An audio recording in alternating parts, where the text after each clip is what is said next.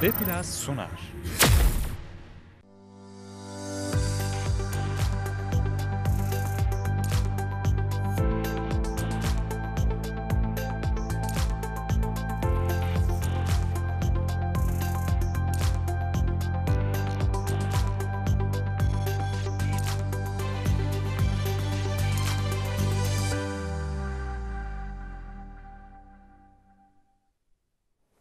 Merhaba sevgili seyircilerimiz. Eğitimin geleceğini konuştuğumuz Geleceğin Eğitimi programına hoş geldiniz.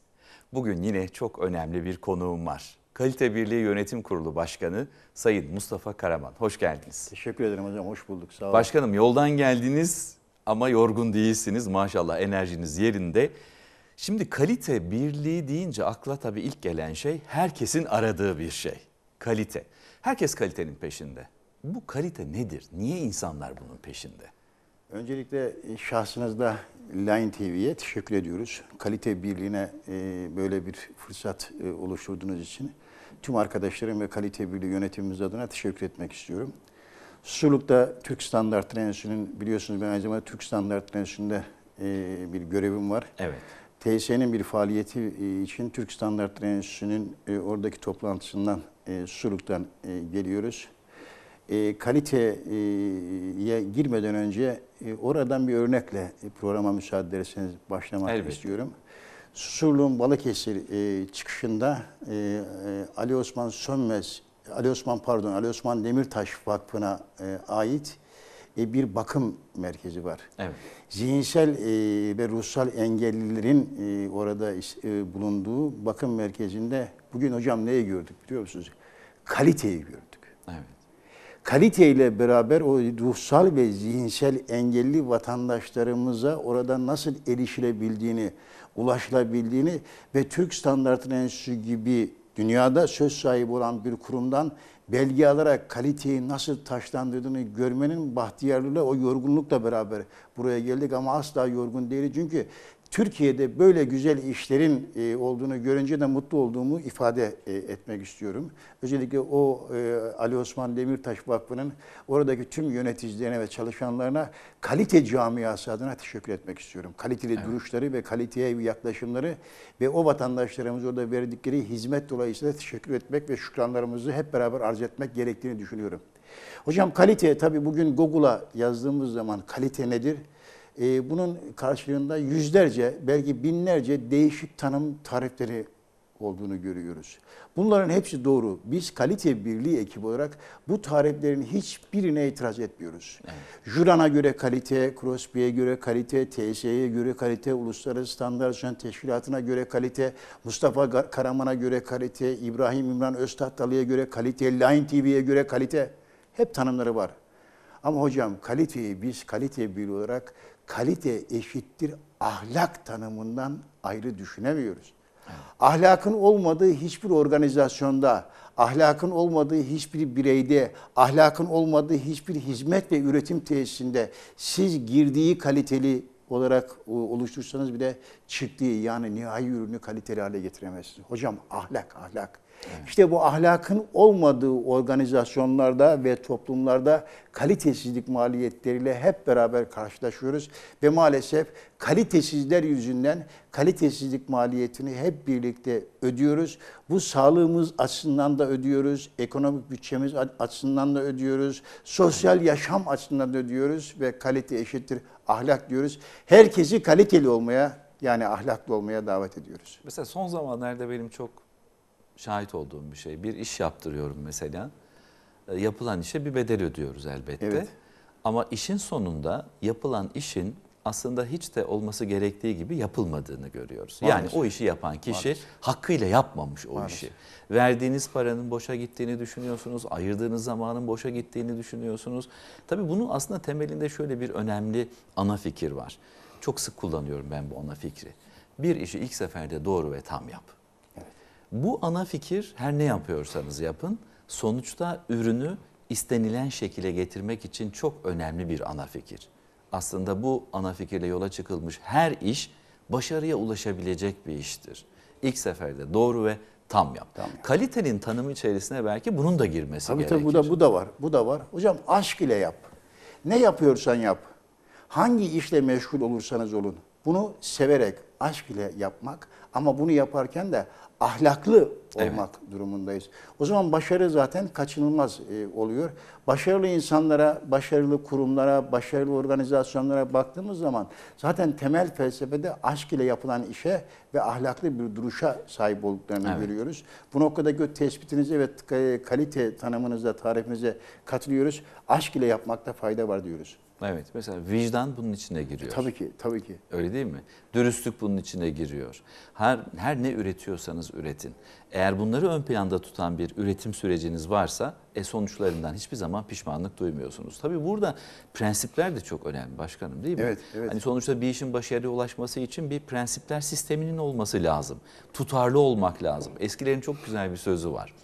Diyorlar ki bir işin başarıya ulaşması için sayu gayrete ihtiyaç vardır. Sayu gayretin bugünkü karşılığı istikrar ve çalışmadır.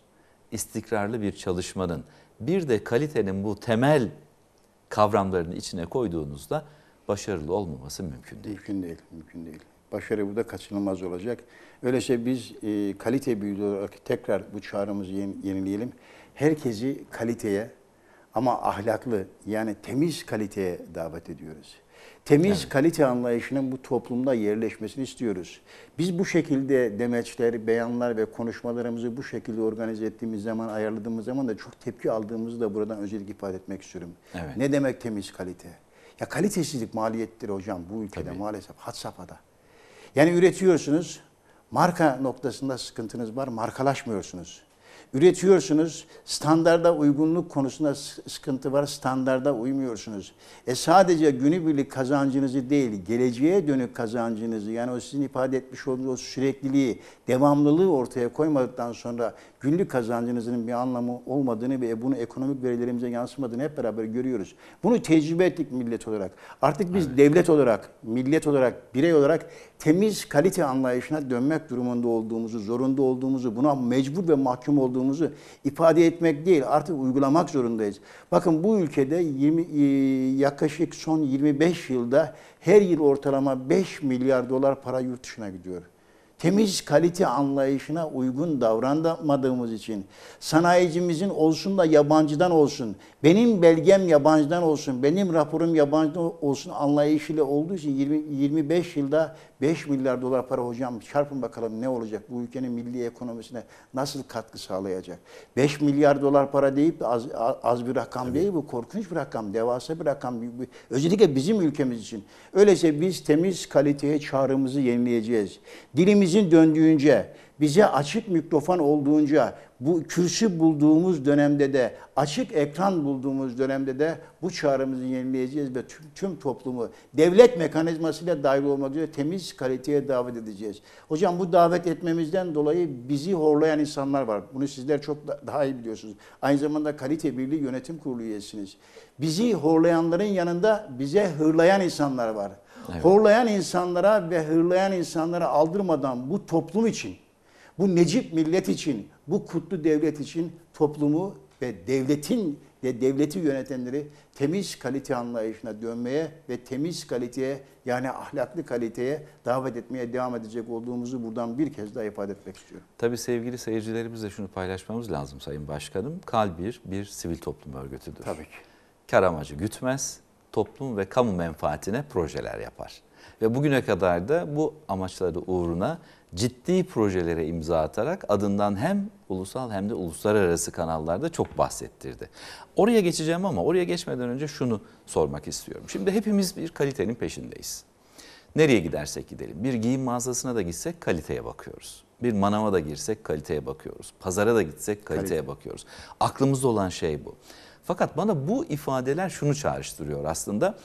İnsan kendisinde olmayanı başkasında göremez. O zaman kalite kavramının önce bir başlangıç noktasını belirleyelim. Kalite nerede başlayacak?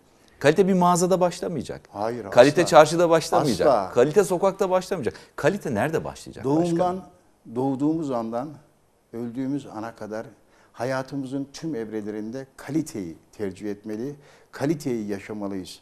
Allah selamet versin, Allah uzun ömürler versin. Bizim eski TS başkanlarımızdan Mehmet Yılmaz Arıyörük Bey şöyle bir cümle kurar. Derdi ki, rüyalarınızı dahi kaliteli görün.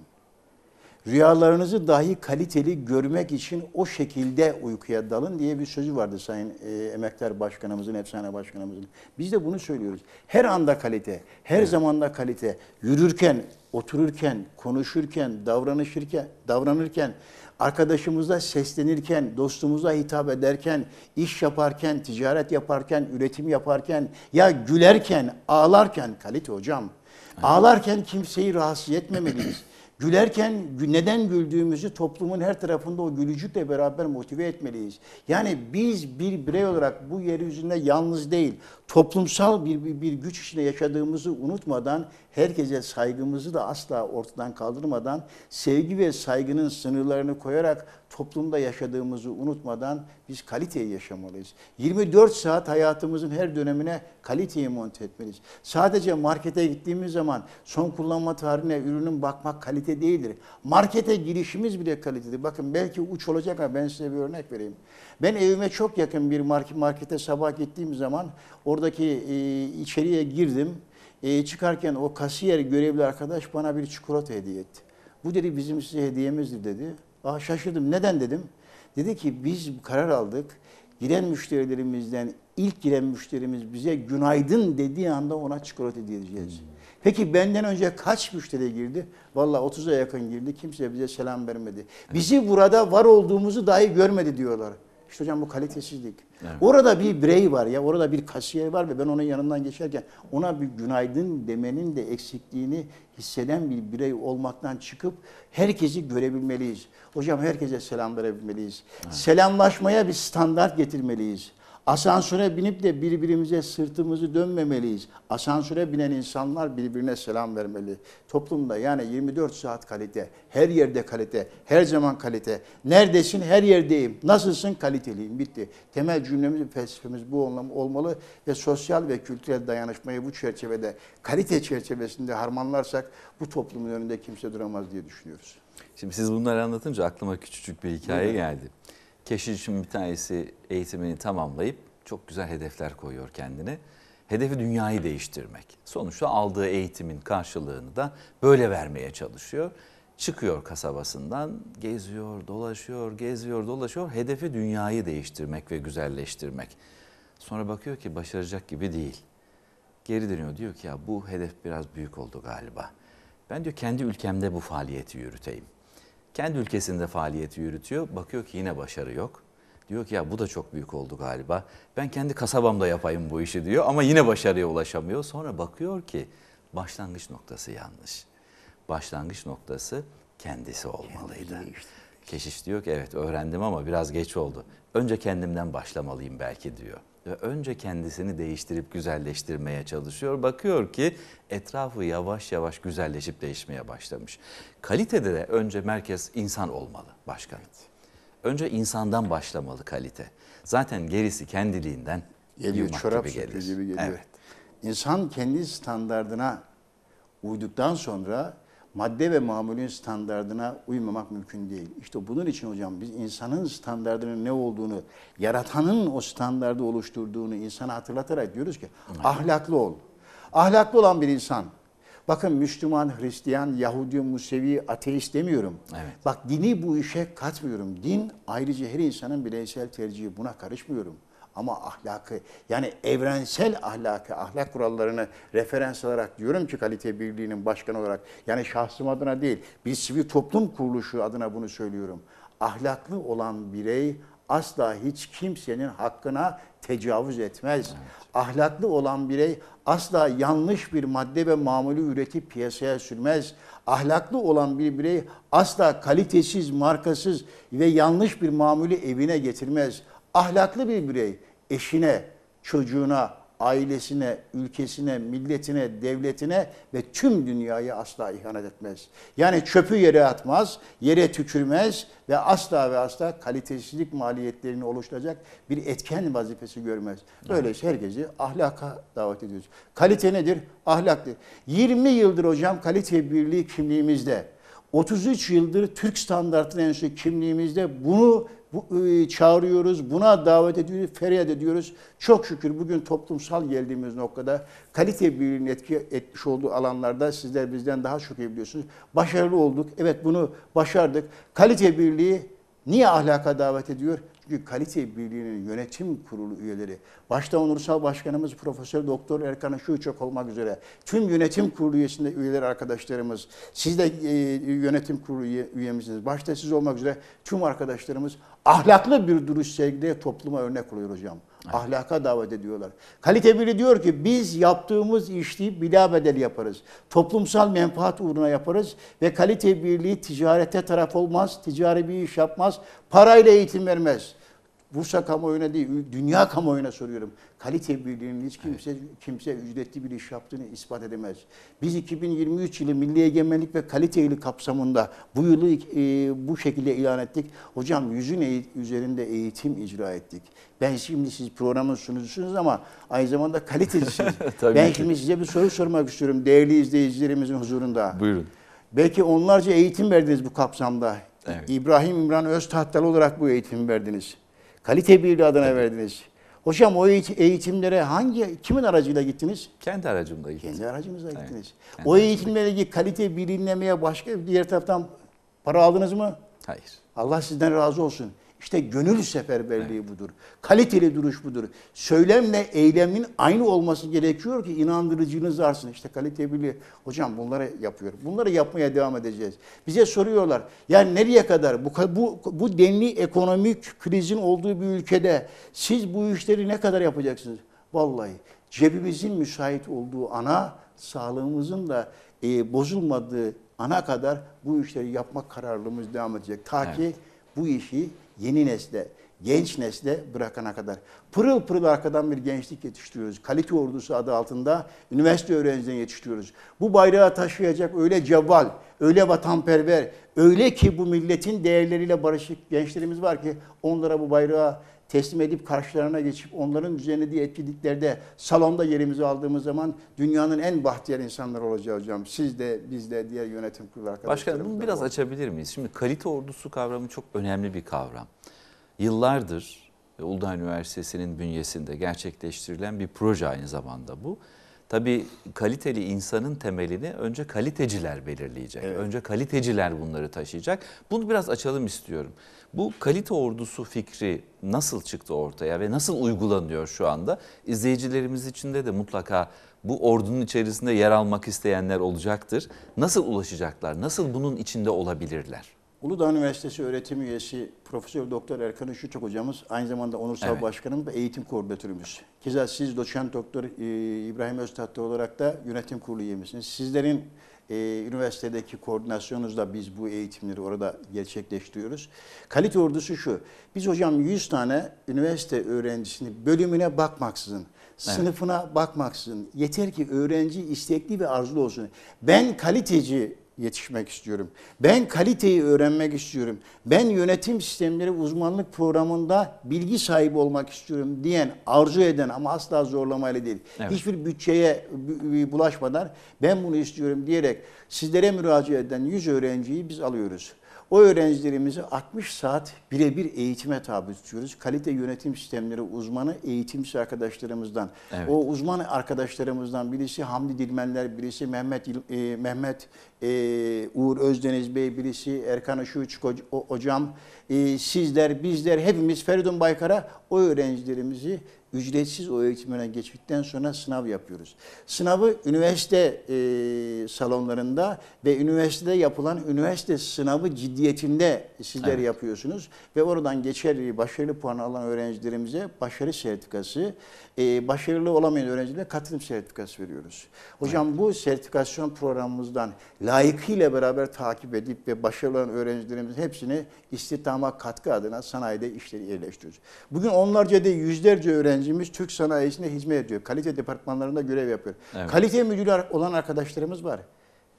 Bakın mesleği öğretmenlik olup bugün bir sanayi kuruluşunda özellikle kauçuk sektöründe çok ünlü bir sanayi kuruluşunda kalite müdürü olan benim arkadaşım var. Benim kalite ordusu öğrenci arkadaşım var. Evet. Bugün üretim sektöründe, e, hizmet sektöründe kalite departmanlarında görev yapan kalite sorumlusu arkadaşlarımız var. Bu öğrenci kardeşlerimiz üniversiteden 4 yılda aldık, aldık, aldıkları diplomanın yanında bizim bu sertifikamızı koydukları zaman ve bir işletmeye müracaat ettikleri zaman aa kalite birliği mi? Aa e, İK'nın tavrını söylüyorum. Aa evet Erkan Hoca ve İbrahim Hoca bunları sınav yapmış tamam gelin denildiğini duyduğumuz zaman dünyanın en bahtiyar ve mutlu insanı olduğumuzu ifade etmek istiyorum. Evet işimizi bu şekilde yapıyoruz. Niye yapıyorsunuz? Topluma faydalı olmak istiyoruz. Doğru. Kamu yararı. Hocam Baki diyor ya hoş bir seda kalır diyor. Hoş bir seda. Kalite birliği hoş bir seda bırakmak istiyor. Ve kalite birliği hoş seda bırakanlara selam olsun diyor. Hocam dünyanın en büyük zenginliği budur. Hoş bir seda bırakabilmek.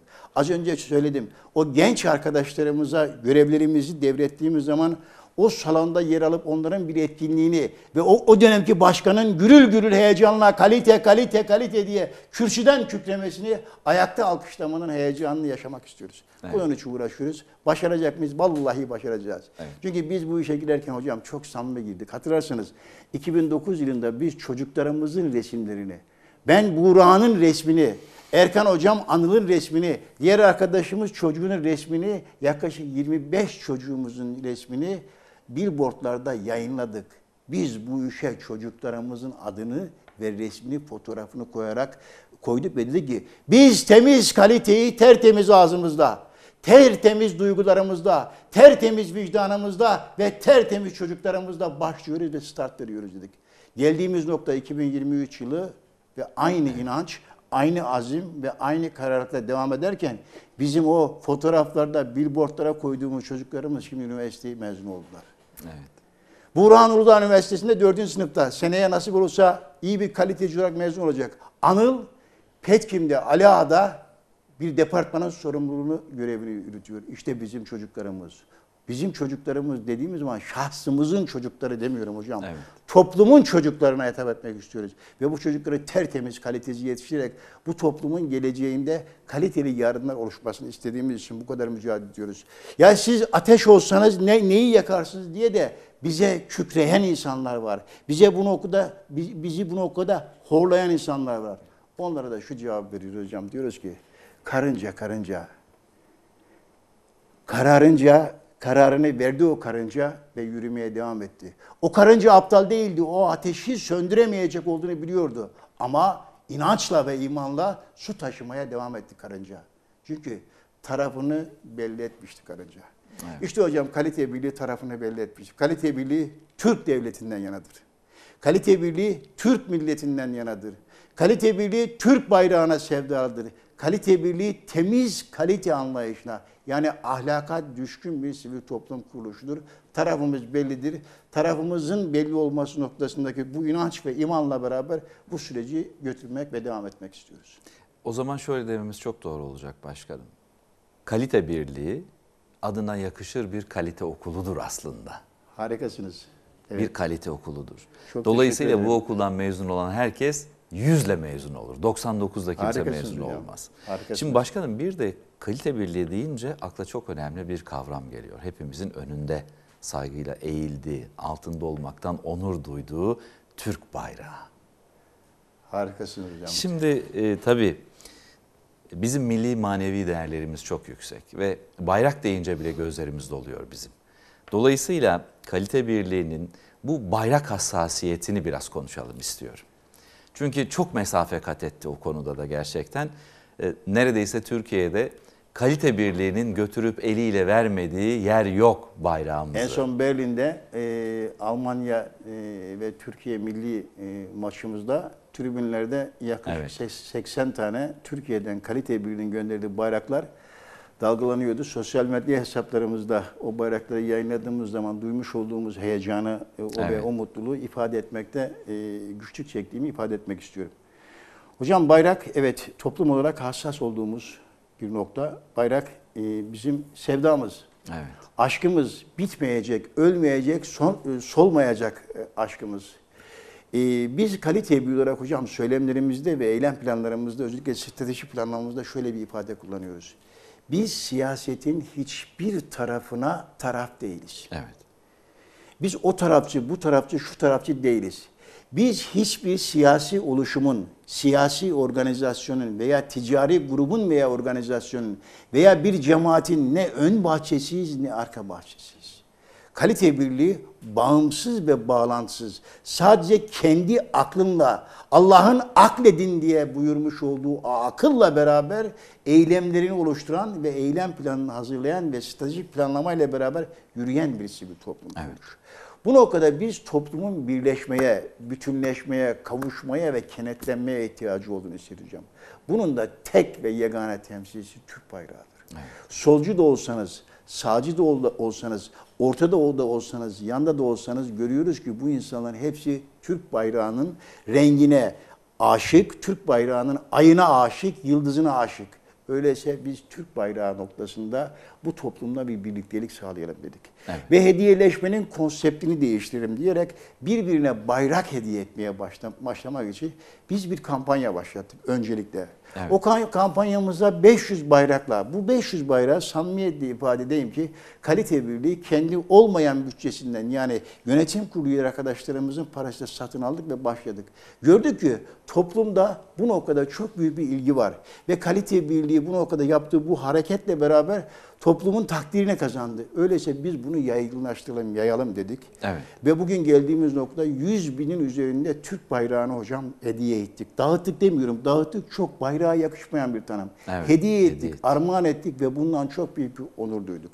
Ve geldiğimiz nokta dedik ki bayrak solmasın, bayrak soldurulmasın, solan bayrak olmasın ama bayrak şanlı dalgalanışını binlerce yıl devam ettirsin diye de buna bir spot cümle kurarak bu hediyeleşmenin konseptini bu şekilde aldık. Hocam nasıl söyleyeyim?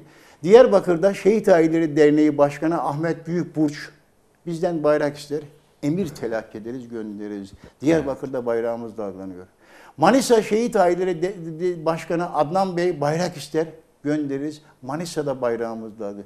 İstanbul'da, Berlin'de, dünyanın ne tarafından bize bayrak talep olursa hocam biz 50 tane veya 1 tane veya 5 bin tane bayrak göndeririz. Biz Berlin Başkonsolosluğumuza bayrak göndermenin şu anda planını ve programını yapıyoruz. Bu noktada müsaade ederseniz bir teşekkürü asla e, Elbette. etmeden geçemeyeceğim. Bursa Ticaret ve Sanayi Odası Başkanımız Sayın İbrahim Burkaya, Bursa Ticaret Borsası Başkanımız Sayın Matlı'ya özellikle teşekkür etmek istiyorum. Bu, nok- bu noktada Milli Ses ve projemiz kapsamındaki bayrak hediye etme anlayışındaki talebimize her daim olumlu cevap vermişlerdir. Her daim bu noktada bize bayrak teminini de bulunmuşlardır. Ayrıca bir teşekkürü de Başkan Vekili yani Özhan Marketler'in ki bizim her türlü ihtiyacımızı karşılayan Evet. Ankara'ya gidişimizde, Anıtkabir'e gidişimizde de sponsorluğumuzu yapan, sponsorluk bedeli almayız. Biz e, otobüsleri tutan İbrahim Özsan'a ve bayrak kampanyamıza destek veren İbrahim Özsan'a da teşekkür etmek istiyorum. Bu bayrak kampanyamız devam edecek. Bugün 100 bin dolayındayız. 100 bini aştık çok şükür. 150 metrekare bayrağımız hazır. Bunu Anıtkabir'de açacaktık. Bu e, yönetmelik müsaade etmediği için bunu yapamadık. Bunu burada bir meydanda e, önemli bir günde yapmayı hedefliyoruz. Ama 100 bin, 200 bin hocam bunu devam ettirerek yeni nesle bizden sonraki kalite birliğini devre, devredecek, devralacak olan genç arkadaşlarımıza bunun sürekliliği noktasında e, bir tavsiyemiz olacak ve birleşme, bütünleşme ve kenetlenmeye ihtiyacımız var. Solcuları sağcılarla, sağcıları solcularla, ortacıları yancılarla, yancıları ortacılarla bizim bunlarla işimiz yok. Biz bayrak sevenlerle beraber olmak istiyoruz. Bayrak sevenin dini, imanı, mezhebi, meşrebi, cinsiyet hiç önemli değil hocam bizim için. Bayrağı sevsin, kalite birliğinin başının üzerinde yeri var. Ama bir de bir kutsallarımız var. Ezana saygı, Atatürk'e hakaret yok. Biz cumhuriyetçiyiz, Türk milliyetçiyiz, bayrakçıyız ve kaliteciyiz. Bizim değerlerimiz var. Değerlerimize hakaret etmeyen her türlü oluşumla işbirliğine hazırız. Ama değerlerimize hakaret eden hiç kimseyle beraber de olmama kararlılığımız var. Şöyle ki yayınladığım benim yazdığım bir yazıda bir, bir paragraf vardı. Müsaade ederseniz bunu Tabii, tabii. e, burada paylaşmak istiyorum. Hocam biz Cumhuriyet'in 100. yılında Cumhuriyet'in 100. yılını balolarda balon pat, patlatarak kutlayan baronlara da karşıyız. Evet. Biz aynı zamanda Cumhuriyetimizi kuran iradeye, o kutlu iradeye, o kutlu mücadeleciye, o milli mücadele, mücadelecilerin lideri olan Mustafa Kemal Atatürk'e Cuma hutbelerinde rahmet okumayan imamlara da karşıyız. Niye? Biz bu ülkeyi çok seviyoruz.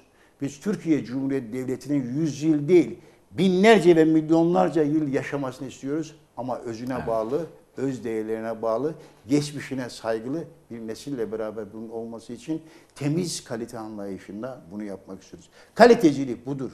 Hiç kimsenin meşrebine ve mezhebine bakmadan, hiç kimsenin ekonomik seviyesine bakmadan herkese eşit mesafede durarak ama değerlerinden asla taviz vermeyen bir anlayışla beraber kaliteyi hakim konuma getirmek için mücadele kalite birliğinin tüm yönetim kurulu üyelerini buradan saygıyla selamlamak ve onlara şükranlarımı arz etmek ve onlara mücadele azimlerinden dolayı bizi bu noktada motive etmelerinden dolayı teşekkür etmek istiyorum ve şükranlarımı arz etmek istiyorum. Eyvallah. Başkanım şimdi tabii bunların hepsini bir yere topladığımızda bizi bir noktaya doğru götürüyor. Eğitim. Eğitim. Şimdi kalitenin temelinde de eğitim var. Hem bireysel hem toplumsal Tabii ki, eğitim. tabii ki. Şimdi kalite birliği Cumhuriyetimizin 100. yılında çok önemli bir projeye imza attı. Ve dediğiniz gibi yüzün üzerinde eğitim verdik. Ve isteyen her firmaya verdik bunu. Zaman yönetiminden liderliğe, iletişimden iş etiğine. Hatta Erkan hocamızın çok güzel bir eğitim var. Üçüncü, Üçüncü göz istatistik. eğitim, dün, dün istatistik. Özsan Market'te bunu. en Evet, son eğitimi gördüm. dün saat 14'te Özsan Market'te. Gerçekten büyük emek var bu eğitimlerin içerisinde. Fakat şuraya gelmek istiyorum. Eğitim sistemimizin içinde kalite şu an ne durumda? Çünkü bununla ilgili de Kalbir'in çok önemli bir atılımı oldu. Hocam bu konuda biz kalite birliği olarak bir rapor hazırladık. Şunu net ifade e, etmeliyim ki devlet bizim, biz devletiz. Evet. Millet bizim, biz milletiz. Bakanlıklar bizim, biz bakanız. Hiç kimse kusura bakmasın. Hiç kimse kendini bulunmuş olduğu noktada muktedir tayin etmesin. Bu devlet hepimiz. Evet. Biz Milli Eğitim Bakanlığımıza bir rapor hazırladık ve raporumuzu sunduk. Dedik ki okullarda özellikle ilk öğretim okullarında yani daha o genç dimağlara tertemiz, daha kirlenmemiş, toplumun bu algısı, toplumda yaratılan o kötü algılarla beraber kirlenmemiş o tertemiz beyinlere biz temiz kaliteyi aşılamamız gerekiyor. Bunlara kalite yani temel kalite dersini ilk öğretim okullarında zorunlu hale getirelim diyerek bunun gerekçelerini, bunun ekonomik durumunu ve bunun sosyal durumunu da içeriğine alan bir raporu Milli Eğitim Bakanlığımıza ulaştırdık. Maalesef üzülerek ifade edeyim ki dördüncü raporumuz sonucunda Milli Eğitim Bakanlığı'ndan bir yazı bize geldi.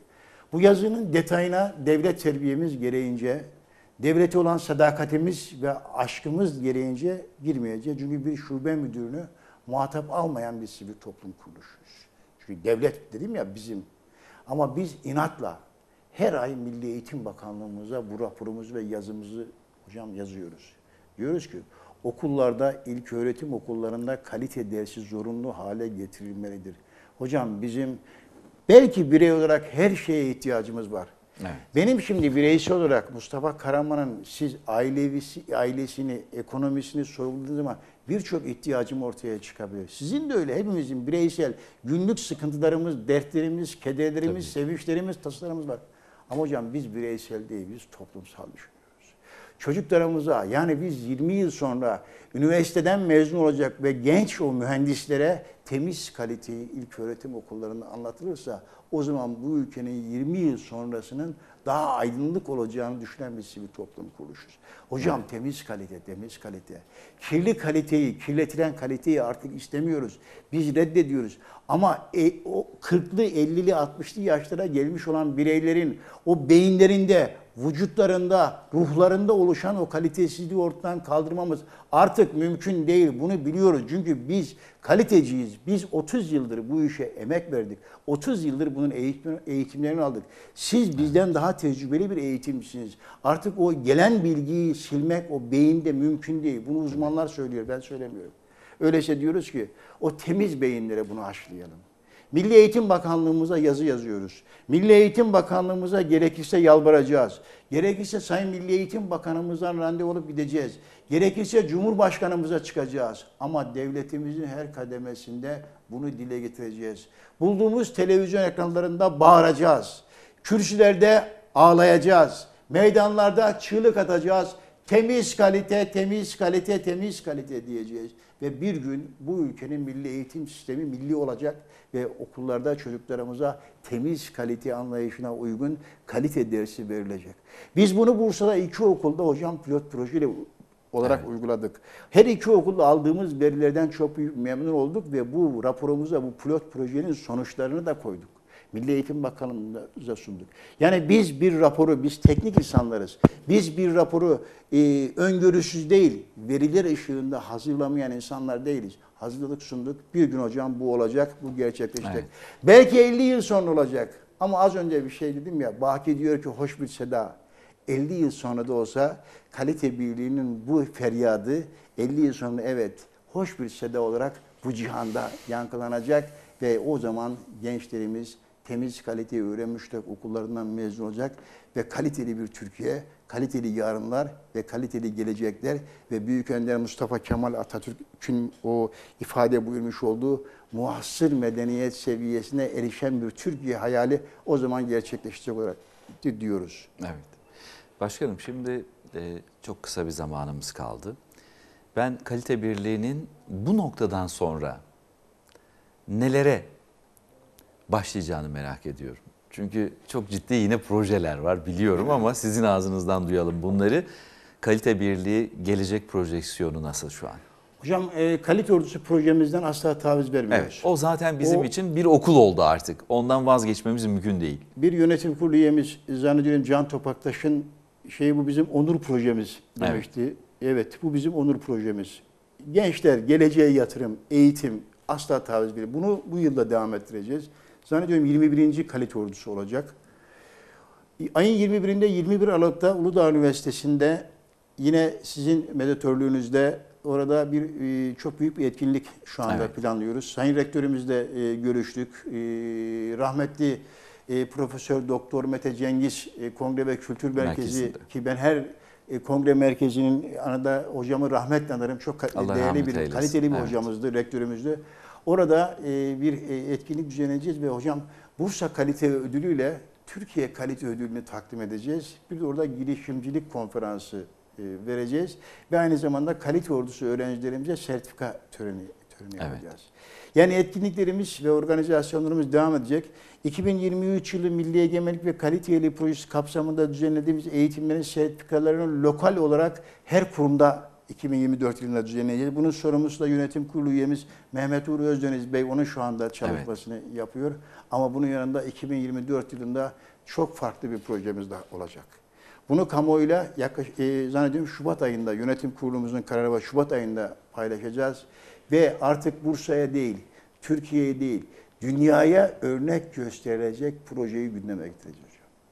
Temiz kalite anlayışının o çerçevede düzenlenecek ve uluslararası standartizasyon teşkilatına da çeki düzen verecek şekilde bir yapı hazırlıyoruz şu anda.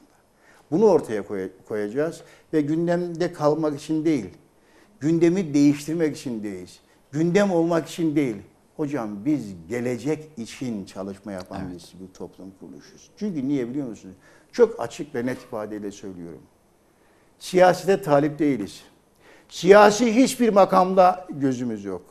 Siyasetten hiçbir talebimiz yok. Siyasi olarak gelinecek hiçbir makama talip değiliz ve reddediyoruz. Hocam ne istiyoruz?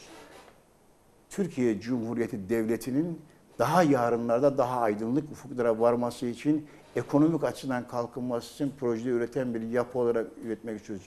Ve şunu teklif ediyoruz herke- herkese. Diyoruz ki projeleri biz üretelim, siz sahip çıkın. Evet. Bir örnekle bunu e, oradan neler yapacak olduğumuza bir örnek müsaade edersin vereyim. Tabii. Belki birileri yine kızacak. Belki birileri gene bizi horlayacak.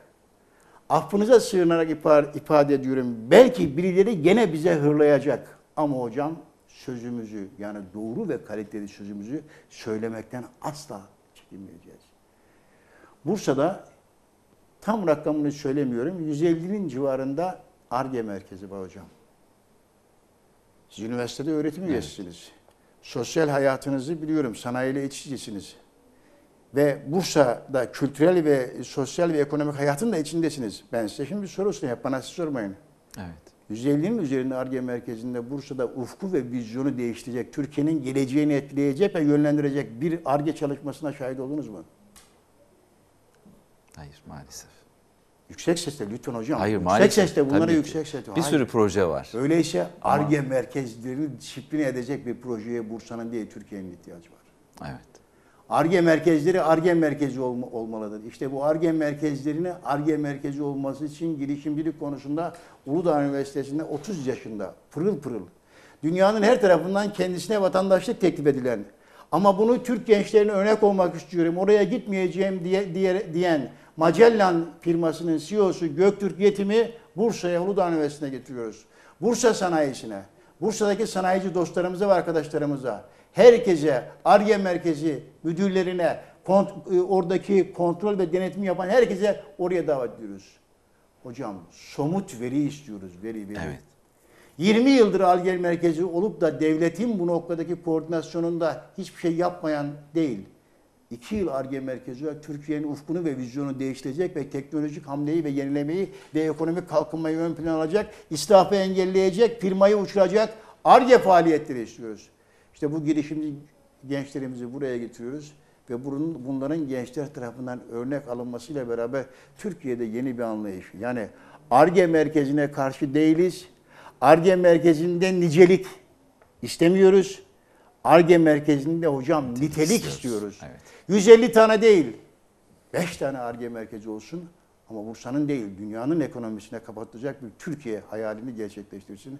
Bunun önümüzde 2004 20 yılın 2024 yılında ARGE'ye karşıyız spotuyla çıkacağız. Ama gerçek manada gerçek ARGE'nin olması için mücadele edecek bir projeyle beraber dünyada söz sahibi olacak bir yapıyı hayal ediyoruz. İnşallah. Ve Uluslararası Standartizasyon Teşkilatı'na da ders verecek nitelikte kanunname itisab Bursa standartını hazırlıyoruz hocam. Onu İnşallah. şey. Başkanım çok teşekkür ediyoruz. Programın sonuna geldik. Kalite birliği, bütün kalitelerin bir araya geldiği bir kalite okulu. Çok, Bu çok okulda sonsuza kadar inşallah devam etsin. Çok teşekkür ediyoruz. Çok teşekkür ederim. Başka şahsınız olmak üzere Line TV ailesine ve Kalite Şehri Bursa'da yaşayan herkese ve bizi izleyen tüm seyircilerimize Kalite Birliği Yönetim Kurulu adına selam, saygı ve e, hürmetlerimi iletiyorum. Sağ olun hocam. Teşekkür, ediyorum. ediyoruz. Sevgili seyircilerimiz geldik yine programın sonuna. Görüşmek ümidiyle. Hoşçakalın efendim.